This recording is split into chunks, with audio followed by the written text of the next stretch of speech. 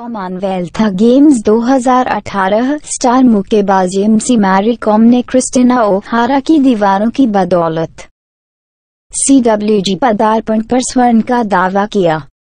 MC Mary com अड़तालीस किग्रा की किंवदंती बड़ी हुई क्योंकि उसने अपने पैक मेडल कैबिनेट में राष्ट्रमंडल खेलों सीडब्ल्यूजी के स्वर्ण पदों में स्वर्ण पदक को स्वर्ण पदक में गोल्डन उपन में उत्तरी आयरलैंड के क्रिस्टिना ओहारा को फाइनल में पहुँचा दिया।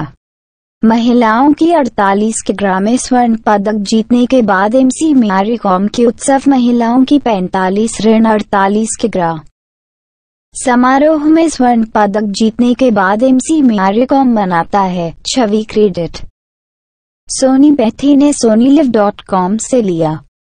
35 वर्षीय पाँच बार विश्व चैंपियन और ओलंपिक कांस्य पदक विजेता। सीडब्ल्यूजी में भी अपनी पहली उपस्थिति में प्रतिस्पर्धा कर रहा था, शायद वह आखिरी भी थी। और यह एक यादगार था जिसमें पांचवी शताब्दी के एक सर्वसम्मति के फैसले का दावा करने वाला एक अन्य हावी प्रदर्शन था, शून्य। बाईस वर्षीय ओहारा, जो एक नर्सिंग होम में देखभाल करने वाले के रूप में काम करता है।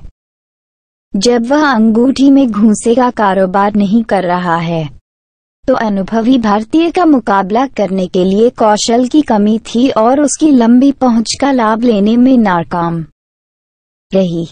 मैरी कॉम की इच्छा पर उसे मारा, उसे सही हुक विशेष रूप से कह रही है। दूसरे दौर में, मेरी कॉम अपने विचित्र प्रतिद्वंदी के खिलाफ रिंग में पूरी तरह से आनंद ले रहे थे।